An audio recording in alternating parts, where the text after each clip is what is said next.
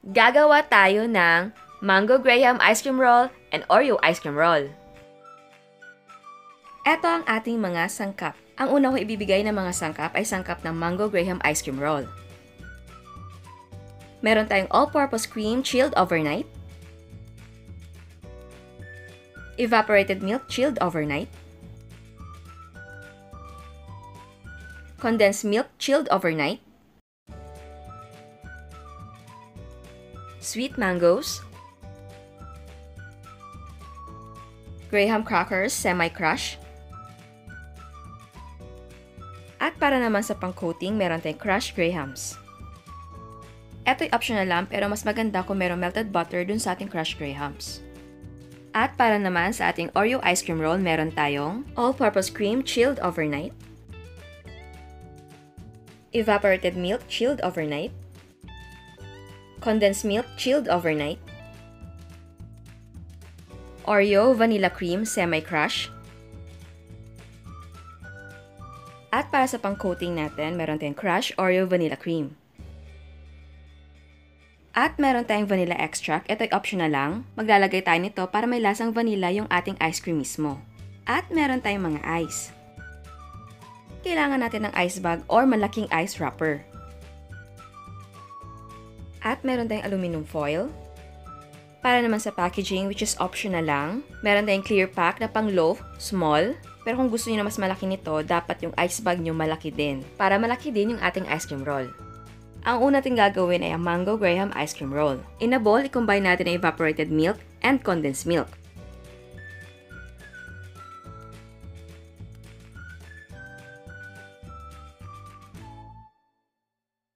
And mix well.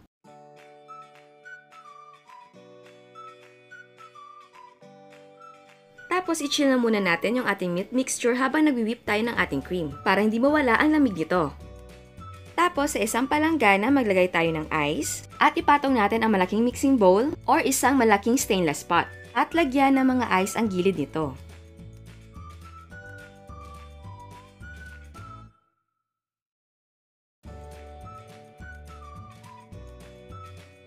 Ngayon naman, ilagay na natin ang ating all-purpose cream sa ating mixing bowl.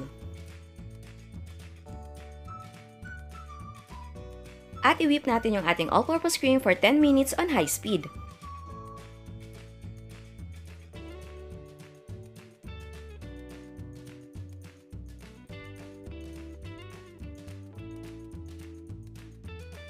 After 10 minutes, gradually add the milk mixture and whip for another 5 minutes.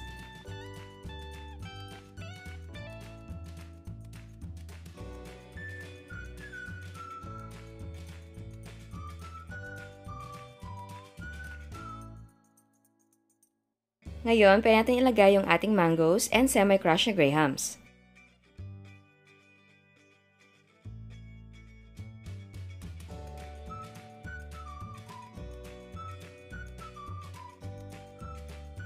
Ngayon, maglalagay na tayo ng ice cream mixture sa ating ice bag. Kung napapansin nyo, binuhol ko ang dulo ng ating ice bag para maganda ang shape ng ating ice cream roll. At para uniform yung ating mga ice cream roll, ang inilagay kong ice cream mixture per ice bag ay 240 grams. At ang gatong size ay kasya sa ating loaf na clear pack. Tapos itali natin para malak.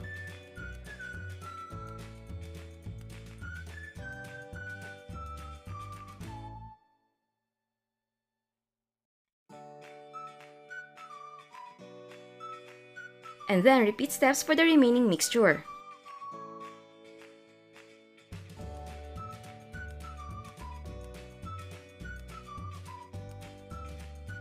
At ang nagawa natin ay 8 pieces.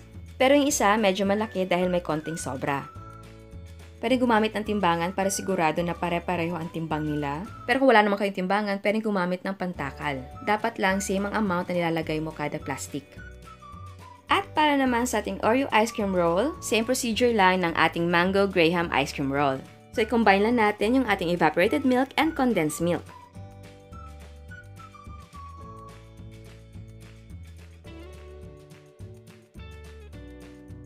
And then, mix well.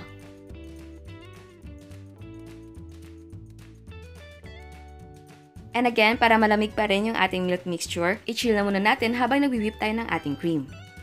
At bago tayo mag-whip, maglagay tayo ng ice sa ating palanggana at ipatong ang ating mixing bowl. At kung wala kayong mixing bowl, kagaya ko, gumamit ng malaking stainless pot. At lagyan ng ice ang gilid ng ating mixing bowl. Ngayon, ilagay na natin yung ating chilled na all-purpose cream sa ating mixing bowl.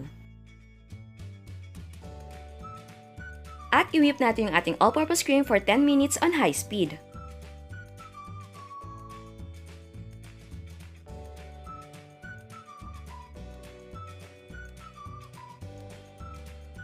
And then, gradually add the milk mixture and whip for another 5 minutes.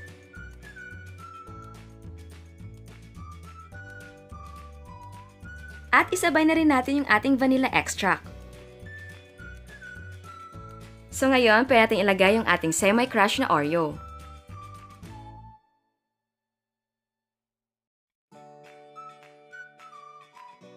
Ngayon, ilalagay na natin siya sa ice bag. And again, binhul ko yung dulo ng ating ice bag. And uniform dapat yung ating mga ice cream roll. Pwedeng gumamit ng timbangan or pangtakal para sigurado.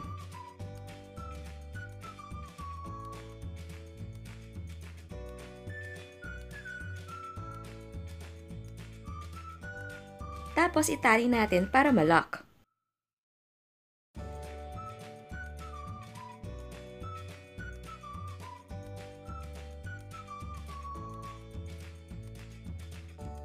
And then repeat the steps for the remaining mixture.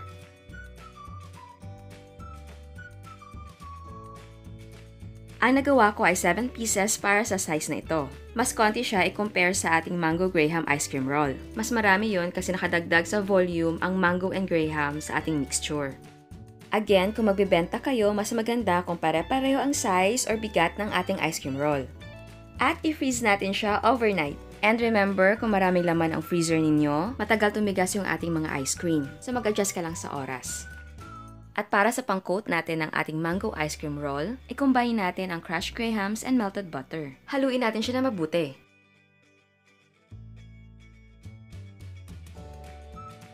Ngayon naman, ilipat natin ang ating crushed graham sa isang malaking plato. At i-unwrap na natin yung ating mango graham ice cream roll.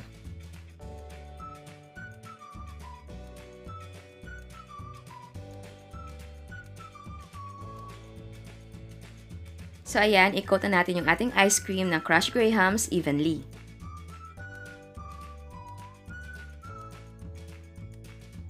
Tapos i-wrap natin yung ating ice cream ng foil.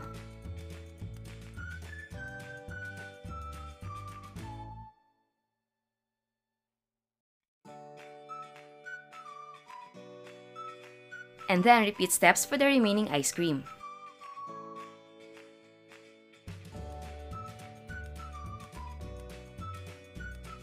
Para naman sa ating Oreo ice cream roll, same steps lang sa ginawa natin sa ating Mango Graham ice cream roll.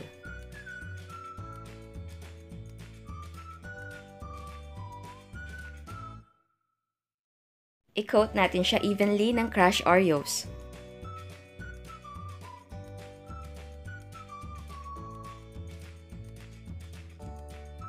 And again, i-wrap natin siya sa foil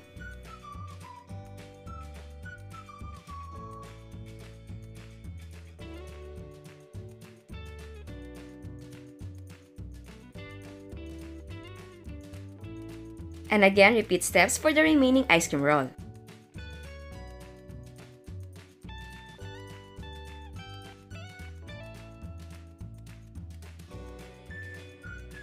And i-freeze natin siya again for 1 to 2 hours. Again, depende yan sa lamig ng freezer ninyo. So ayan, pwede natin tanggalin yung ating foil. At ilipat na natin siya sa ating clear pack.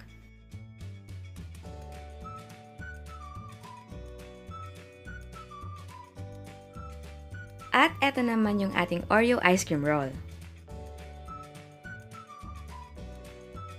Ayan, ilipat na natin siya sa ating clear pack. Again, ito'y optional lang. Pwede ang pang-packaging mo ay foil. Maganda lang talaga tignan pag nasa clear pack siya. So ayan, eto na yung ating Mango Graham ice cream roll at Oreo ice cream roll.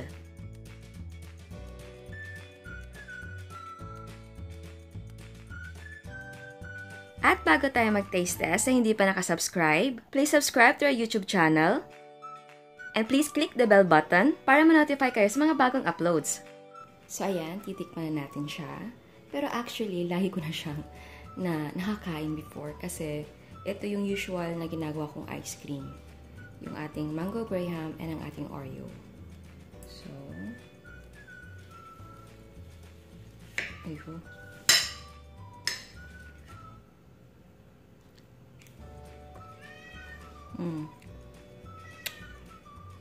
Ang sarap talaga ng mango ice cream natin. Gustong gusto ko talaga. Siguro kasi uh, familiar ako sa lasa niya. Lalo na na ito talaga ay flavor ng, ng mango float, no? Gustong gusto ko siya. Parang may pagka-homey yung dating niya. Kasi yung mami ko noon anong gumagawa ng mango float sa bahay. Kaya, type na type ko si Mango Graham. Oops. Naka. Ito pa naman natin ating Oreo. Uh -huh.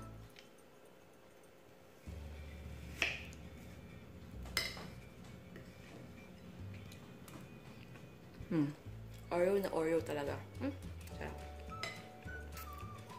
Masarap talaga ang combination ng Oreo and yung ating all-purpose cream and ito condensed milk. Ang sarap. Ay, nakagawa na tayo ito eh. Pero walang evap yun. Pero ito kasi, mas marami yung magagawa mo kasi may evap. Kasi kung wala ding evap, creamy naman siya. Pero, konti na yung magagawa mo.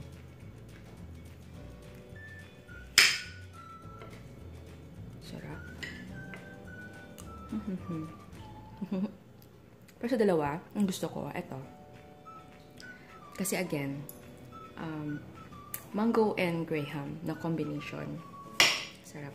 Sarap talaga. Parang mango float. hmm. Iba talaga yung, yung mangga. Lalo na pag matamis yung mangga na bili mo. Kaya siguraduhin nyo na matamis yung mangga na mabibili nyo. Huwag yung alanganin na maasim, tapos matamis. Hindi ko gusto yon. Oops. Ay. Actually, dapat, ano, malaki, mas malaki yung ating ice cream roll. Kaso lang, yung nabili kong uh, ice wrapper, yung size lang na ganun. Kasi wala akong mahanap na mas malaki. Kasi mas maganda sana kung ilalagay natin siya dito. Mas malaki to eh. Ayan. Mas malaki yan kesa nung isa. Maliit yun eh. Ayan. So, wala akong mahanap. Wala akong mahanap na na malaking ice wrapper. Kaya, yung maliit na lang. Pero maganda rin tignan, di ba? Kung gusto niyo ng pangbenta or pangregalo, pwedeng pwede. But again, kung ayaw nyo ilagay dun sa clear pack, pwede lang na i-wrap mo siya ng foil. Tapos, pwede mo siya ibenta or ibigay. Kasi, hindi ka makahanap ng ganun na lalagyan, okay lang foil. Basta maganda yung pagkakarap ha. And kung ayaw nyo naman siyang gawing ice cream roll, okay lang. Pwede mo siyang ilagay. Pagkahalo nyo ng, ng cream and milk and nung ating mango and uh, grahams, tsaka yung Oreo natin, pwedeng ilagay sa mga salad cups. Tapos, i-freezer nyo na agad. So, okay lang kung ayaw nyo ng ice cream roll. Kasi ito, arty-arty lang, alam mo na. At kung ayaw nyo ang flavor ng mango graham at Oreo, pwede kayong gumamit ng ibang flavor gaya ng cheese, buko pandan, or strawberry, or chocolate. Kung napapansin nyo, same lang ang process ng ice cream na ginagawa natin. So, nasa inyo yon kung gusto nyo nang gumamit ng ibang flavor. And again, ilalagay ko yung mga prices ng ating mga sangkap after the taste test and kung magkano mo siya pwedeng ibenta. Sarap. Yung pusa ko nag-iingay.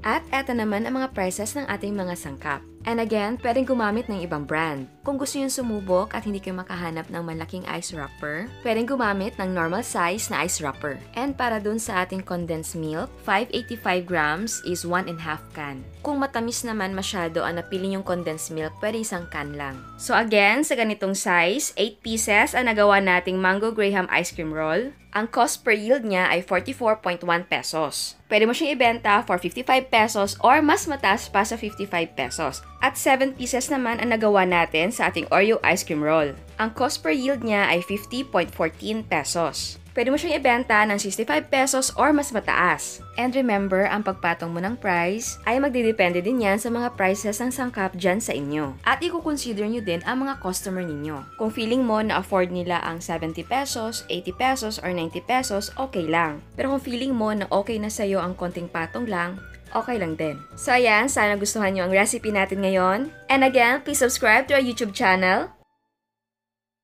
And please click the bell button para ma-notify kayo sa mga bagong uploads natin. And please like our Facebook page and follow us on Instagram. Thank you!